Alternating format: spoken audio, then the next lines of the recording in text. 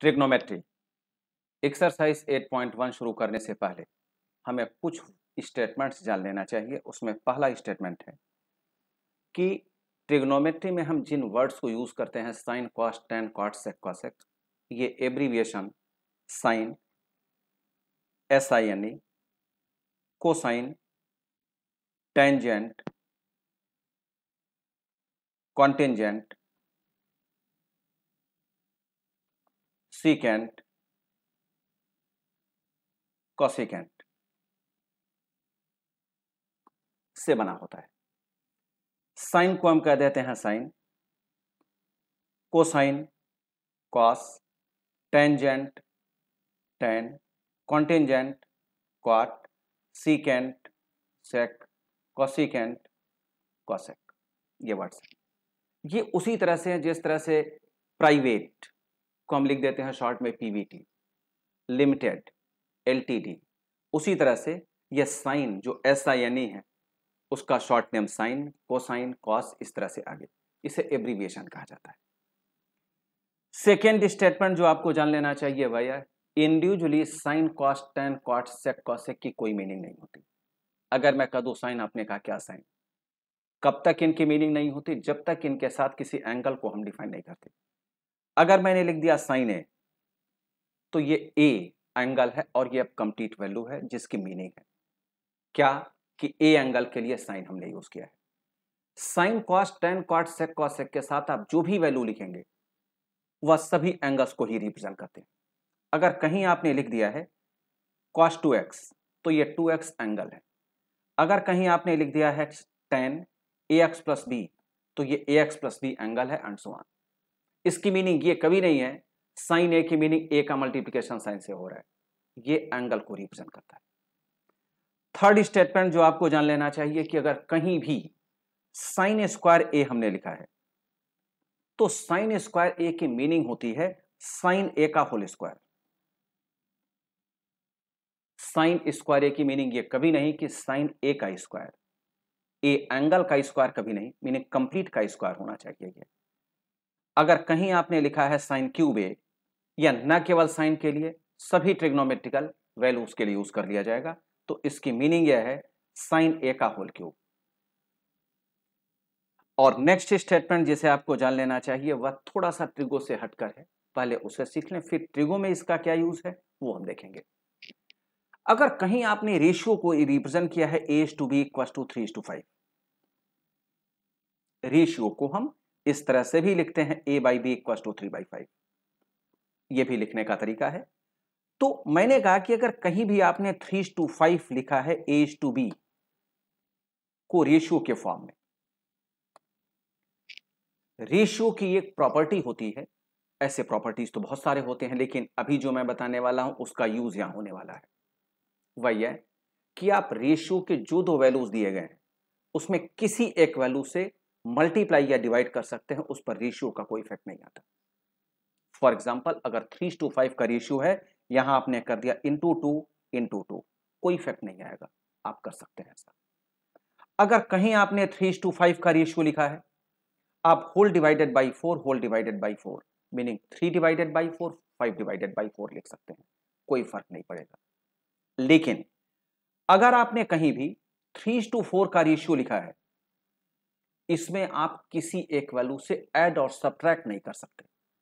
Plus one plus one ये नहीं कर सकते दिस इज़ रॉन्ग अप्रोच कहीं आपने थ्री टू फोर का रेशियो लिखा है माइनस टू माइनस टू ये नहीं कर सकते दिस इज़ रॉन्ग अप्रोच तो मीनिंग ये एडिशन सब्ट्रैक्शन आप नहीं कर सकते मल्टीप्लीकेशन डिवीज़न आप कर सकते हैं। इस पर रेशियो का कोई इफ़ेक्ट नहीं होता। ये भी एक कंडीशन है, ये भी आपको ध्यान देना चाहिए कि वह वैल्यू इक्वल होनी चाहिए। अगर टू से आप कर रहे हैं तो टू को ही दोनों में मल्टीप्लाई करेंगे।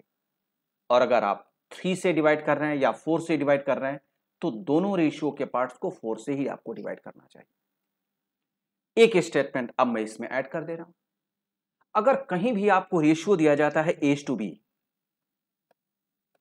equals to three two two अगर किसी एक कांस्टेंट टर्म से आप दोनों रेशियो की वैल्यू को मल्टीप्लाई कर दें तो ये एक्चुअल वैल्यूज़ में कन्वर्ट हो जाते हैं। एक बार फिर समझें, अगर आपने as to B equal to three two two लिखा है, किसी एक कांस्टेंट टर्म से रेशियो के दोनों वैल्यूज़ को मल्टीप्लाई करते हैं तो ये एक्चुअल वैल्यू में कन्वर्ट हो जाएगा। फॉर एग्ज़ाम्पल अगर आपने यहाँ मल्टीप्लाई कर दिया, अगर ये रेशियो थ्री टू टू का ही है, हमने कर दिया इंटू फोर इंटू फोर तो अब अगर आप चाहें तो ये ट्वेल्व एक्चुअल वैल्यू मान सकते हैं और इसे आप सॉरी ये फोर होना चाहिए और इसे आप एट मान सकते हैं। मीनिंग ये किसी भी कांस्टेंट टर्म को अगर आप मल्टीप्लाई करते हैं रेशियो के दोनों वैल्यूज़ में तो ये एक्चुअल वैल्यू में कन्वर्ट हो जाएगा, क्योंकि रेशियो किसी की एग्जैक्ट वैल्यू एक्चुअल वैल्यू को नहीं बताता।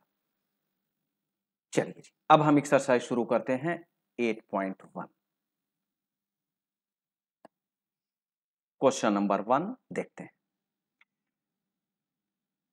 In triangle ABC right angle at B right angle triangle को ही हम डिस्कस करने वाले हैं। A B equals to twenty four centimetre B C equals to seven centimetre determine first part में है साइन ए कॉस ए और दूसरे पार्ट में है sine C cos C question बड़े आराम से पढ़े। इसमें कोई जल्दीबाजी ना करें, जिससे आप उस क्वेश्चन से रिलेटेड स्टेटमेंट को सही तरीके से यूज़ कर सकें और जब आप सही तरीके से यूज़ करेंगे, तभी आप सही आंसर तक पहुँच सकते हैं। तो पहला question right angle at B एक छोटा सा यहाँ एक राइट एंगल ट्रायंगल हम बना दे रहे हैं। राइट एंगल ट्रायंगल में बी को राइट एंगल माना गया है मीनिंग बी 90 डिग्री का होना चाहिए। हमने इसे एंगल ए मान लिया और इसे एंगल हमने सी मान लिया। अगर आप चाहें तो ए और सी का कोई नाम दें या अगर नाम नहीं भी देते हैं तो इसे जो वर्टेक्स होता है, जो पॉइंट होता है, वही एंगल माना जाता है। अब इसमें क्या क्या दिया गया है? A B equals to twenty four centimetre A B equals to twenty four centimetre B C equals to seven centimetre B C seven centimetre दिया गया हमसे पूछा गया sine A cos A first part में और sine C cos C second part में। लेकिन हम ट्रिग्नोमेट्री की किसी वैल्यू को किसी एंगल के साथ तभी कैलकुलेट कर सकते हैं जब राइट एंगल ट्रायंगल के सभी साइड्स हमें पता हो। यहाँ तो साइड्स हमें सभी पता है नहीं। केवल दो साइड्स पता है। कौन कौन से? एक बेस पता है और दूसरा परपेंडिकुलर तो हाइपोटेनोस की वैल्यू हम निकाल लेते हैं। राइट एंगल ट्रायंगल में hypotenuse square equal to perpendicular square plus base square हम लिखते हैं। पाइथागोरस थ्योरम के अकॉर्डिंग हाइपोटेनोस की वैल्यू तो गिवन नहीं है। परपेंडिकुलर की वैल्यू गिवन है सेवन तो सेवन का square plus base twenty four twenty four का स्क्वायर। अब सेवन का स्क्वायर होता है फोर्टी नाइन, ट्वेंटी फोर का स्क्वायर होता है फाइव सेवेंटी सिक्स। एक बार अगर चाहें तो इसे कैलकुलेट भी करके देख लें, जिससे आप श्योर रहें कि हाँ यही वैल्यू है। 576 और प्लस 49 जब आप ऐड करेंगे तो आएगा ये 625 हाइपोटेन्यूज स्क्वायर 625 है तो हाइपोटेन्यूज की वैल्यू क्या हो गई? Under root six twenty five that is twenty five अब हाइपोटेन्यूज की वैल्यू आपने कैलकुलेट कर लिया 25 सेंटीमीटर जब आप ये कैलकुलेट कर चुके हों तो साइन ए और कॉस सी साइन ए के लिए एंगल ए के लिए, यहाँ मैं लिख दे रहा हूँ एंगल ए के लिए फॉर एंगल ए परपेंडिकुलर क्या है? परपेंडिकुलर है सेवन सेंटीमीटर बेस क्या है? बेस को हम शॉर्ट में बी से रिप्रेजेंट कर रहे हैं, ट्वेंटी फोर सेंटीमीटर। और हाइपोटेन्यूस क्या है? Twenty five centimetre. Angle A की इंफॉर्मेशन यहाँ गिवन है। तो अब अगर हम साइन ए कैलकुलेट करना चाहते हैं फ़र्स्ट पार्ट में तो साइन ए कैलकुलेट करने के लिए, जैसा आपको बताया गया था, पाकिस्तान भूखा प्यासा, हिंदुस्तान हरा भरा, या पंडित बद्री प्रसाद हर हर बोले। जो भी आप चाहें यूज़ कर सकते हैं। पंडित बद्री प्रसाद और हर हर बोले। और इसमें पहला पार्ट रिप्रेजेंट करता है साइन को, दूसरा कॉस को और तीसरा टेन को। तो साइन ए के लिए आपको लिखना चाहिए पी बाय एच अब ए एंगल के लिए परपेंडिकुलर है सेवन सेंटीमीटर और एच है ट्वेंटी फाइव सेंटीमीटर तो seven by twenty five answer हो गया। और अगर आप कॉस ए की वैल्यू कैलकुलेट करना चाहते हैं तो एंगल तो यही है, लेकिन कॉस के लिए फॉर्मूला होता है बी बाय एच और यहाँ बी के लिए आप लिखेंगे 24 सेंटीमीटर और एच के लिए 25 सेंटीमीटर तो ये आपका सही आंसर आ गया। 25 सेंटीमीटर लेकिन हमसे सेकेंड पार्ट में क्या पूछा गया है वो भी देख लें। साइन सी कॉस सी पूछा गया है। अब हमें एंगल सी चाहिए। और यह हम जानते हैं कि एंगल ए के लिए परपेंडिकुलर और बेस जो होते हैं, वही परपेंडिकुलर और बेस एंगल सी के लिए नहीं होते। क्योंकि अब एंगल सी के लिए हमें देखना है परपेंडिकुलर क्या है। एंगल सी के लिए परपेंडिकुलर देखें, यहाँ एंगल सी है। हम ये जानते हैं एंगल सी अगर आपने लिया है तो इसके साथ जो 90 डिग्री की लाइन होती है, वह बेस कही जाती है। और परपेंडिकुलर यहाँ ए बी हुआ तो perpendicular A B equals to twenty four centimetre यहाँ मैं ये भी लिख दे रहा हूँ परपेंडिकुलर ए बी समझना आसान हो जाएगा। ए बी जिसे परपेंडिकुलर कहा जा रहा है, वह है twenty four centimetre base B C equal to seven centimetre hypotenuse A C equal to twenty five centimetre अब आप कैलकुलेट कर सकते हैं sine C cos C sine C sine C के लिए फार्मूला तो रहेगा पी बाय एच लेकिन अब देखने परपेंडिकुलर है क्या? ट्वेंटी फोर और एच क्या है? ट्वेंटी फाइव और अगर कॉस सी की बात करें तो कॉस सी के लिए फार्मूला तो बेस बाई हाइपोटेन्यूस है, लेकिन बेस यहाँ सेवन सेंटीमीटर है और हाइपोटेन्यूस ट्वेंटी फाइव सेंटीमीटर है।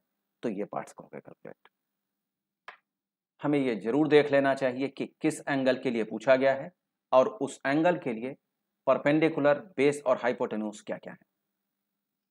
जितने जल्दी यह कर लेंगे, उतने ही जल्दी और इजिली आपका आंसर कैलकुलेट हो जाएगा। Second question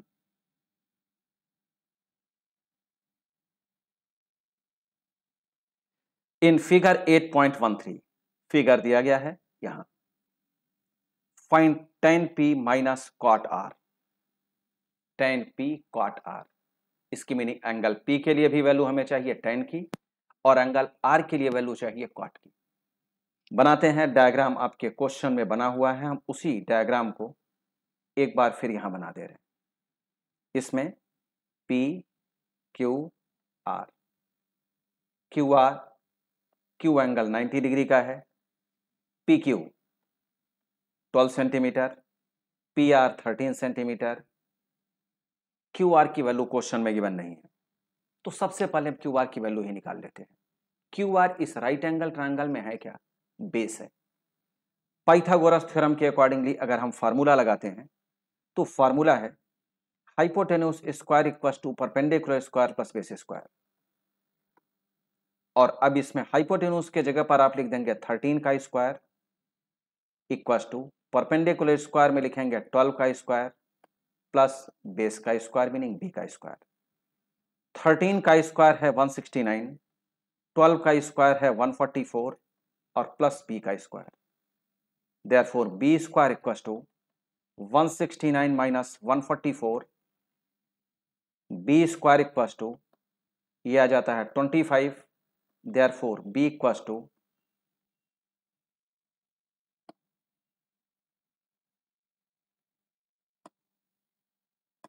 b equals to root 25 that is 5 इसकी मीनिंग बेस हम पा गए 5 सेंटीमीटर लेकिन ये बेस 5 सेंटीमीटर हमें किस एंगल के लिए मिला है? एंगल आर के लिए।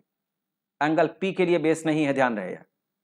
अब, क्योंकि हमसे टेन पी और कॉट आर पूछा गया तो हमें सबसे पहले पी एंगल के लिए बेस परपेंडिकुलर हाइपोटेन्यूस और एंगल आर के लिए बेस परपेंडिकुलर हाइपोटेन्यूस निकाल लेना चाहिए। चलिए, निकालते हैं। For angle for angle P angle P के लिए बेस देखें एंगल पी के लिए बेस पी क्यू हुआ और इसकी वैल्यू 12 सेंटीमीटर परपेंडिकुलर मैं शॉर्ट में लिख रहा हूँ परपेंडिकुलर यह है Q R equals to five centimetre और हाइपोटेन्यूस जो किसी भी एंगल के लिए ही होगा हाइपोटेन्यूस पी आर ये है थर्टीन सेंटीमीटर। हमसे पूछा गया tan P tan P tan का फार्मूला होता है परपेंडिकुलर बाई बेस आप अगर चाहें तो यहाँ देख लें, ये फार्मूला है टेन का। ये साइन का और ये कॉस का। तो परपेंडिकुलर बाई बेस अब जरा देख लेते हैं। परपेंडिकुलर की वैल्यू यहाँ है क्या? फाइव सेंटीमीटर और बाई बेस की वैल्यू है ट्वेल्व सेंटीमीटर ये आ गया। लेकिन हमसे कॉट आर भी पूछा गया है और इन दोनों का सब्ट्रैक्शन पूछा जा रहा है। तो अब हम एंगल आर के लिए निकालते हैं बेस परपेंडिकुलर और हाइपोटेन्यूज क्या क्या है। एंगल आर के लिए base Q R equal to five centimetre, perpendicular P Q equal to twelve centimetre, hypotenuse P R thirteen centimetre. Cot R चाहिए। अब ये हम जानते हैं कि कॉट क्या होता है। टेन का रेसिप्रोकल टेन का फार्मूला होता है परपेंडिकुलर बाई बेस तो कॉट का फार्मूला क्या होना चाहिए? Base by perpendicular. Base by perpendicular, और एंगल आर के लिए बेस चेक करें, क्या है? फाइव। और परपेंडिकुलर क्या है? ट्वेल्व है। तो कॉट आर की वैल्यू भी फाइव बाई ट्वेल्व। और हमसे क्या पूछा गया है? पूछा गया है tan P minus cot R की वैल्यू क्या होगी? तो टेन पी की value five by twelve minus cot R की value five by twelve equal to zero. यही आंसर है। Question number three. देखें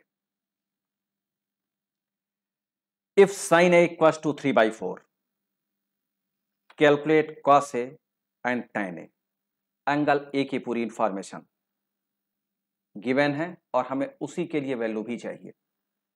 Sine A equal to three by four, cos A और टेन ए हमें चाहिए। Sine A. हम एक right angle triangle यहाँ क्रिएट करते हैं, देखें। राइट एंगल ट्रायंगल जिसमें हमने एंगल ए यह मान लिया, क्योंकि इसी की इंफॉर्मेशन गिवन है। बी एंगल हमने राइट एंगल ट्रायंगल मान लिया 90 डिग्री के लिए, और सी हमने यहाँ लिख लिया।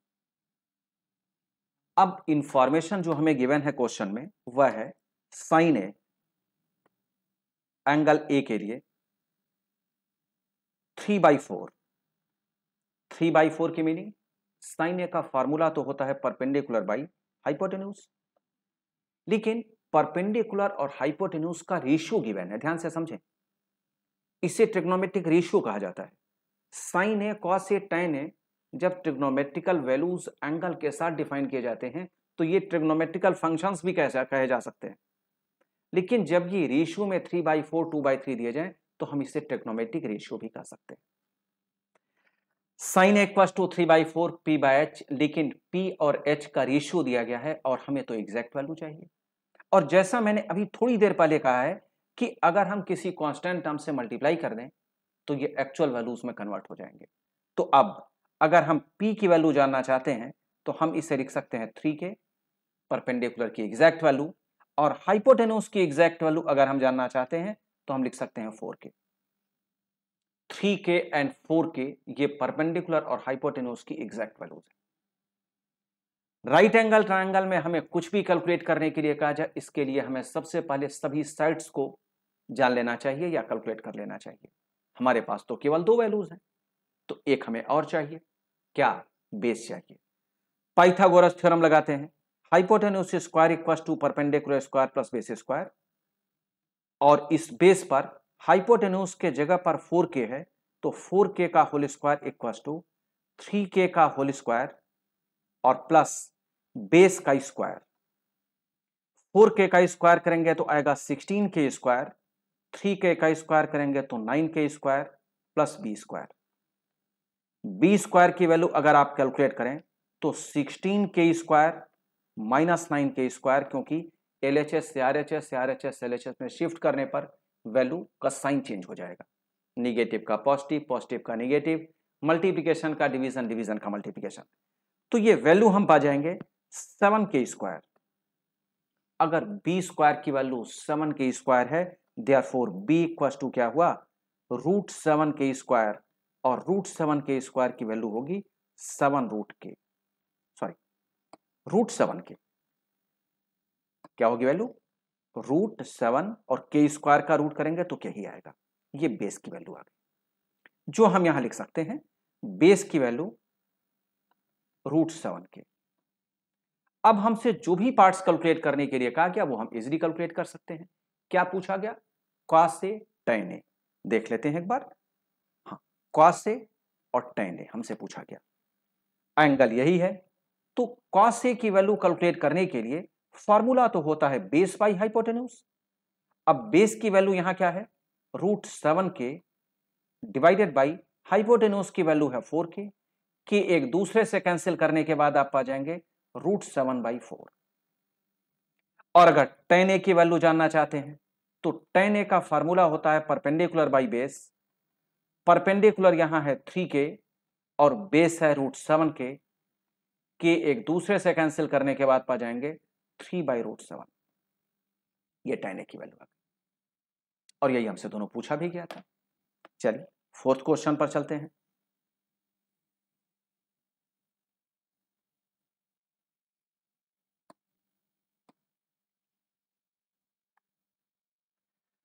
Fourth question given 15 cot a equals to 8 find sine A sec यहाँ भी एक ही इंफॉर्मेशन है, ये क्वेश्चन उसी तरह से है, जिस तरह से थर्ड जिस तरह से थर्ड उसी तरह से डिफरेंस केवल यह है कि वहाँ साइन ए की वैल्यू थ्री बाई फोर दी गई थी और यहाँ fifteen cot equal to eight तो cot A equals to eight by fifteen हम लिख सकते हैं। उसके बाद का पैटर्न वही है जो हमने थर्ड क्वेश्चन के लिए अप्लाई किया था। तो चलिए देख लेते हैं। Fifteen cot equal to eight fifteen cot A to eight एक बार फिर क्वेश्चन देख लें, क्योंकि क्वेश्चन देखने या लिखने में गलती नहीं होनी चाहिए। अगर यह गलती हो गई तो पूरी कैलकुलेशन गलत है। इसकी मीनिंग एंगल ए से रिलेटेड इंफॉर्मेशन गिवन है और एंगल ए से रिलेटेड क्वेश्चन हमसे पूछा भी गया है। तो हम राइट एंगल ट्रायंगल इस तरह से बनाएँ, जिसमें एंगल ए को यहाँ लिखें, जिससे कैलकुलेशन इजी हो जाएगी, ये पूरी वैल्यू बेस बन जाएगी। हम इसे मान लेते हैं बी जो 90 डिग्री को रिप्रेजेंट करेगा, और हम इसे मान लेते हैं सी हमें यही एंगल यूज़ करना है। 15 क्वाट इक्व टू एट तो क्वाट इक्व टू हो गया एट बाई फिफ्टीन अब क्वाट का फार्मूला क्या होता है? भाई टेन का फार्मूला होता है परपेंडिकुलर बाई बेस तो क्वाट का क्या होगा? Base by perpendicular base by perpendicular लेकिन एक कंफ्यूजन है। ये बेस और परपेंडिकुलर रेशियो में गिवन है और हमें क्या चाहिए? भाई बेस की एग्जैक्ट वैल्यू चाहिए परपेंडिकुलर की एग्जैक्ट वैल्यू चाहिए। तो हमने यहाँ ये कर दिया बेस की वैल्यू को हमने लिख दिया एट के, किसी कांस्टेंट टर्म से मल्टीप्लाई करेंगे तो वह एक्चुअल वैल्यू में कन्वर्ट हो जाएगा, और परपेंडिकुलर के लिए लिख लिया फिफ्टीन के। लेकिन हमसे जो भी पार्ट पूछा जाएगा, वो तो हम तभी निकाल सकते हैं ना जब हमें तीनों साइड्स गिवन हो। हमारे पास तो यहाँ दो ही साइड्स हैं कौन कौन से? एक बेस गिवन है और दूसरा परपेंडिकुलर गिवन है। अब अगर बेस और परपेंडिकुलर गिवन है तो क्या हम हाइपोटेन्यूज नहीं निकाल सकते? ज़रूर निकाल सकते हैं। किससे? Hypotenuse square equal to perpendicular square plus base square Pythagoras theorem लगाते हैं।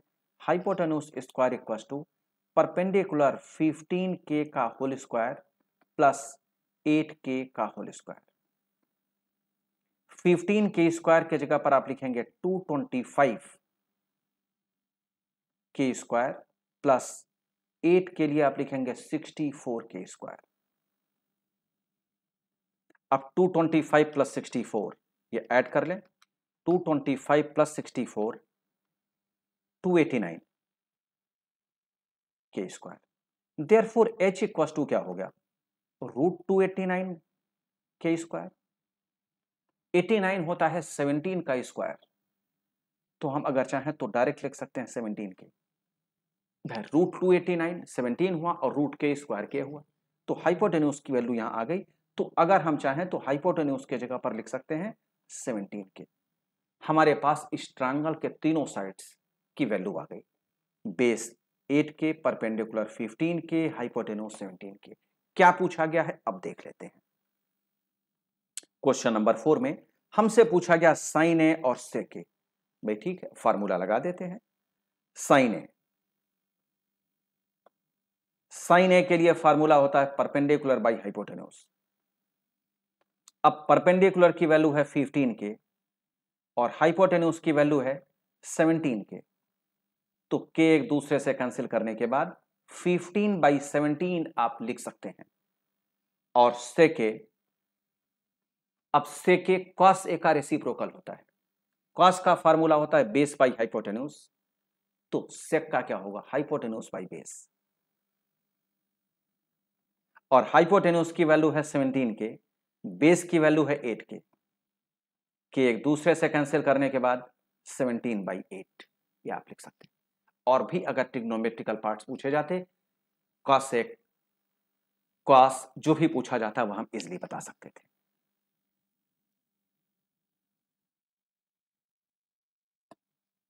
क्वेश्चन नंबर फाइव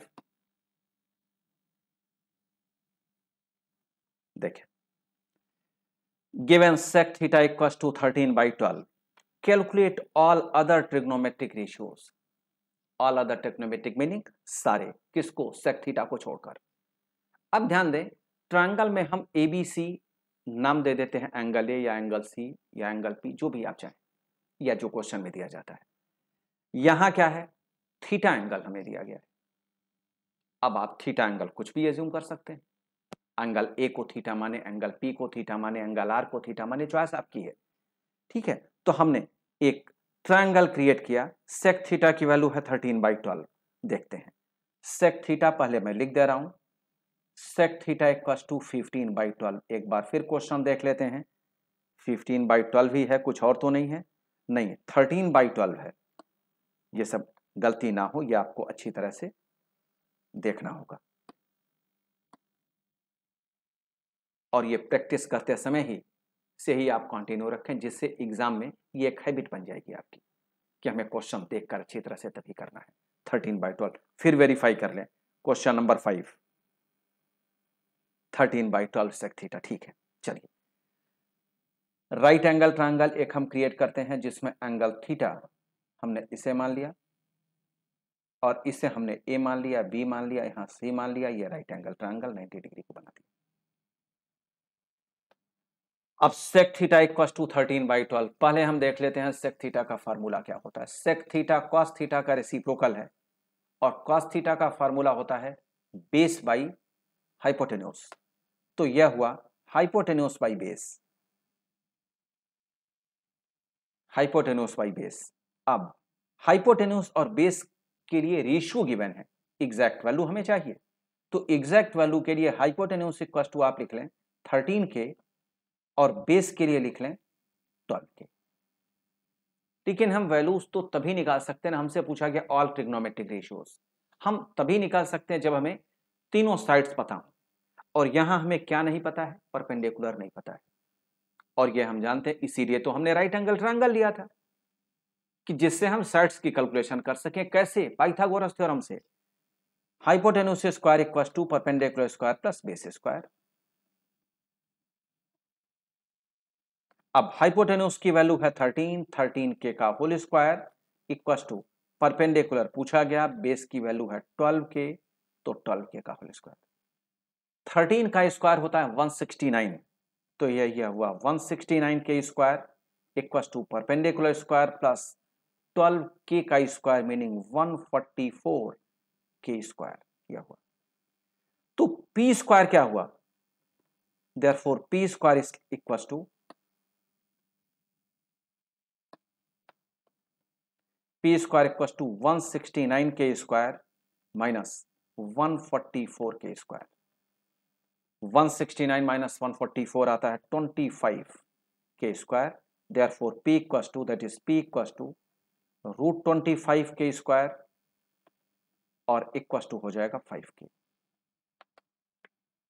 अब यहाँ परपेंडिकुलर की वैल्यू हम पा चुके हैं फाइव के और अब अगर तीनों साइड्स आप पा चुके हैं ट्रायंगल के तो आप सभी ट्रिग्नोमेट्रिक वैल्यूज़ बता सकते हैं। पहला साइन थीटा साइन थीटा का formula perpendicular by hypotenuse perpendicular की वैल्यू है फाइव के और हाइपोटेन्यूस की वैल्यू है थर्टीन के के कैंसिल करने के बाद five by thirteen cos theta का फॉर्मूला होता है बेस बाई हाइपोटेन्यूस बेस की वैल्यू है ट्वेल्व के और हाइपोटेन्यूस की वैल्यू है थर्टीन के के एक दूसरे से cancel twelve by thirteen tan theta का फॉर्मूला होता है परपेंडिकुलर बाई बेस अगर आप चाहें साइन बाई कॉस की बेस पर भी इसे डिफाइन कर सकते हैं। परपेंडिकुलर बाई बेस और परपेंडिकुलर की वैल्यू फाइव के बेस की वैल्यू है ट्वेल्व के तो यहाँ आप लिख सकते हैं फाइव बाई ट्वेल्व कॉट की value cot theta equal to cot theta tan theta का रेसिप्रोकल होता है। तो अगर आप चाहें तो इससे भी कर लें, ये भी आप सीख लें। मैं फार्मूले से नहीं डायरेक्ट इससे अब बता रहा हूँ। वन बाई टेन थीटा तो इसकी meaning one by five by twelve simplify होने के बाद ये हो जाएगा ट्वेल्व बाई फाइव और अगर आप कॉसेक थीटा को निकालना चाहते हैं कॉसेक थीटा का खुद का फॉर्मूला तो होता ही है राइट एंगल ट्रायंगल में हाइपोटेन्यूस बाई परपेंडिकुलर लेकिन अगर आप चाहें तो साइन के रेसिप्रोकल से भी इसे निकाल सकते हैं। वन बाई साइन थीटा की वैल्यू है फाइव बाई थर्टीन तो यह हो जाएगा थर्टीन बाई फाइव सभी ट्रिक्नोमेट्रिक वैल्यूज़ को आपने कैलकुलेट कर लिया।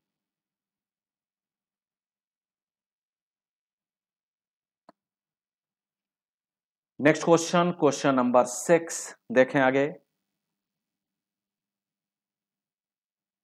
Question number six if angle A and angle B are acute angles such that cos A equals to cos B, then show that angle A equals to angle B.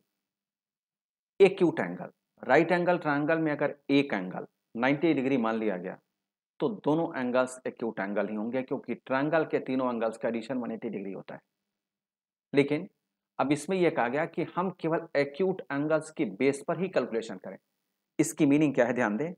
Angle A and angle B acute angle है और अगर right angle triangle A B C है तो आपको C angle को 90 degree मानना चाहिए। देखें, अगर हम इसका डायग्राम बनाए क्वेश्चन नंबर सिक्स का तो इसका डायग्राम इस तरह से होना चाहिए। यहाँ लिखना चाहिए सी 90 डिग्री ये एंगल आपका ए होना चाहिए और ये एंगल आपका बी होना चाहिए। और इसीलिए कहा गया angle B and angle A are acute angles angle B को आप 90 डिग्री ना लिखिए अगर एंगल बी को 90 डिग्री लिखते तो एंगल ए और एंगल सी एक्यूट एंगल्स हो जाते। तो ये इसीलिए पहले ही बता दिया गया है। अब क्या कहा गया है? और कंडीशन देखें। Cos A equals to cos A equals to cos B ये क्वेश्चन में दिया गया है। चलिए देखते हैं। एंगल ए के लिए अगर आप देखें, फॉर एंगल ए, इसमें बेस क्या है? बेस, एंगल ए के लिए ए सी परपेंडिकुलर क्या है? बी सी और हाइपोटेन्यूस क्या है? ए बी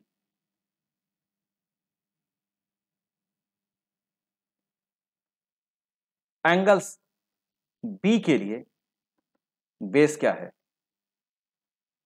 एंगल बी के लिए बेस है बी सी परपेंडिकुलर क्या है?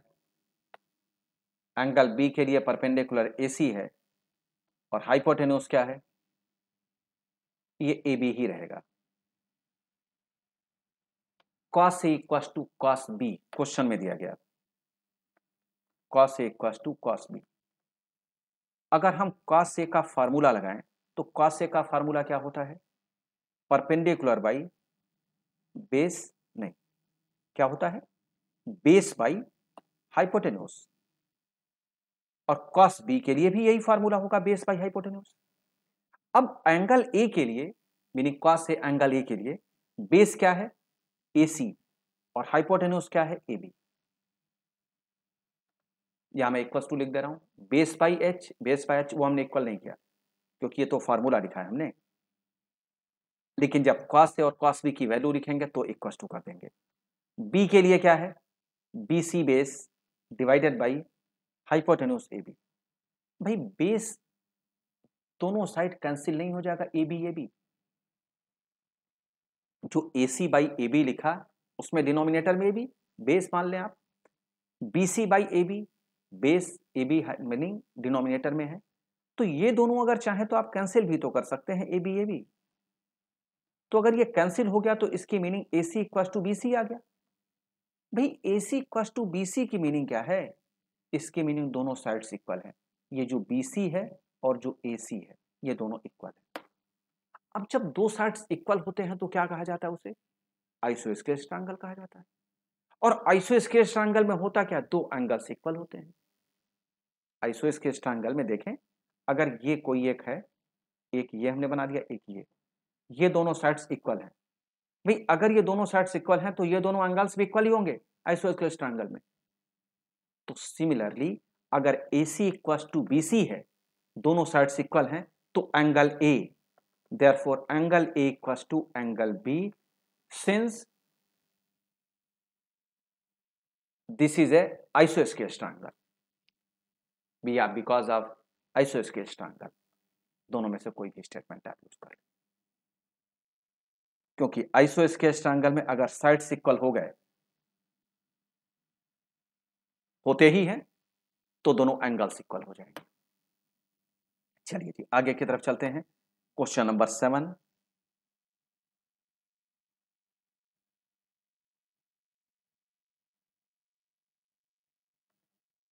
if cot theta equals to 7 by 8 evaluate. First part. 1 plus sin theta 1 minus sin theta 1 plus cot th cos theta 1 minus cos theta. और दूसरा part है cot square theta भाई, ये जो दूसरा पार्ट है, वो तो इजीली कैलकुलेट हो जाएगा। भाई कॉट थीटा की value seven by eight given है। और कॉट स्क्वायर थीटा हमसे पूछा गया है। कॉट स्क्वायर थीटा क्या होता है? मैंने आपको बताया अभी कि कॉट स्क्वायर थीटा की मीनिंग कॉट थीटा का होल स्क्वायर होता है। और कॉट थीटा की वैल्यू क्योंकि सेवन बाई एट है तो सेवन बाई एट का होल स्क्वायर कर दें। ये कितना हो जाएगा? By forty nine by sixty four ये तो सेकेंड पार्ट यहीं के यहीं हो गया। बचे कौन कौन से? बचे कौन कौन से? क्या एक ही पार्ट बचा? फ़र्स्ट पार्ट और इसमें क्या क्या हमें निकालना है?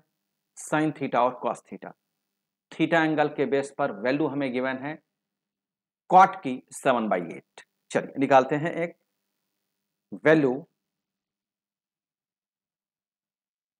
cot theta equals to seven by eight एक राइट एंगल ट्रायंगल क्रिएट करते हैं, जिसमें ये एंगल थीटा मान लेते हैं। ए बी सी मान लें। अब कॉट थीटा का फार्मूला क्या होता है?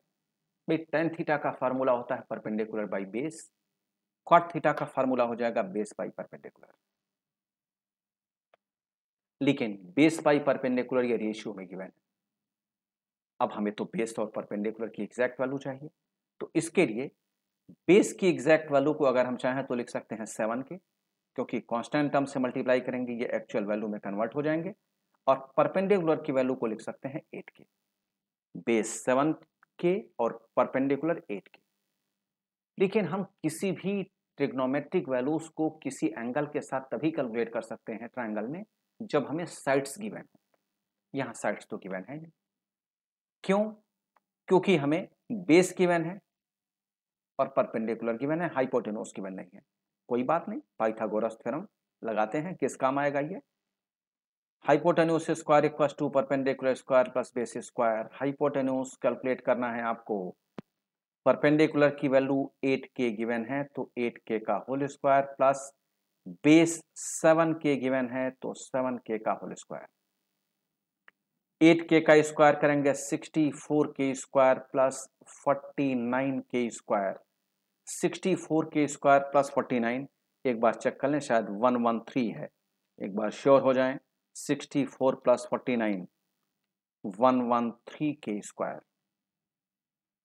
Therefore, hypotenuse equals to root 113 के स्क्वायर दैट इज़ रूट 113 के दिया गया। हाइपोटेनोस की वैल्यू आ गई। ये हमने निकाल लिया। हाइपोटेनोस इक्वल टू रूट 113 के क्या हमसे पूछा गया है? वो देखते हैं। हमसे पूछा गया है one plus sine theta first part में। One plus sine theta, one minus sine theta whole divided by one plus cos theta one minus cos theta ये हमसे पूछा गया। एक बार फिर वेरीफाई कर लेते हैं। क्वेश्चन नंबर सेवन का फ़र्स्ट पार्ट बिल्कुल ठीक है। One plus sine theta one minus sine theta one plus cos theta one minus cos theta लेकिन, अब इसके लिए सबसे पहले हमें साइन थीटा और कॉस थीटा की वैल्यू चाहिए। साइन थीटा और कॉस थीटा की वैल्यू हम यहीं से पहले निकाल लेते हैं। उसके बाद हम आगे के पार्ट्स को कैलकुलेट करेंगे। Sine theta equal to formula होता है परपेंडिकुलर बाई हाइपोटेन्यूस परपेंडिकुलर की वैल्यू एट के hypotenuse root one one three के के एक दूसरे से cancel eight by root one one three और कॉस थीटा की value base by hypotenuse base की वैल्यू सेवन के divided by hypotenuse root one one three के के एक दूसरे से cancel seven by root one one three. अब अगर साइन थीटा और कॉस थीटा दोनों की वैल्यू आप पा चुके हैं तो जो पूछा गया उसमें पुट करके आंसर फाइंड कर लें। डायरेक्ट भी आंसर फाइंड कर सकते हैं। दूसरा तरीका यह है कि अगर आप चाहें तो हम इसे लिख सकते हैं A plus B A minus B के accordingly A square minus B square और यह हो जाएगा one minus sine square theta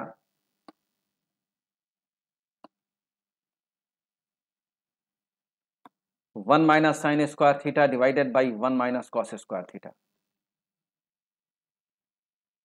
A minus B A plus B ये आइडेंटिटी हमने यूज़ कर लिया. साइन थीटा की वैल्यू क्वेश्चन में गिवन है तो one minus eight by root one one three का whole square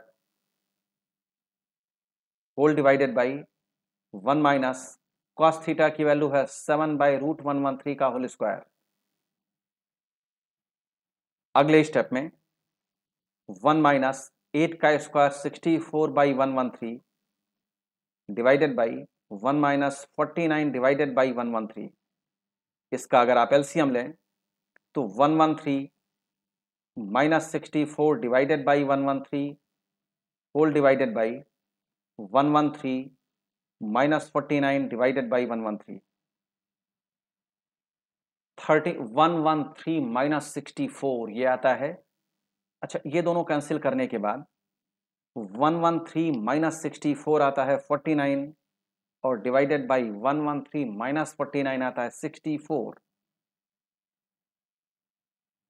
तो one plus sine theta one minus sine theta one plus cos theta one minus cos theta की value forty nine by sixty four और second part जो आप calculate कर चुके हैं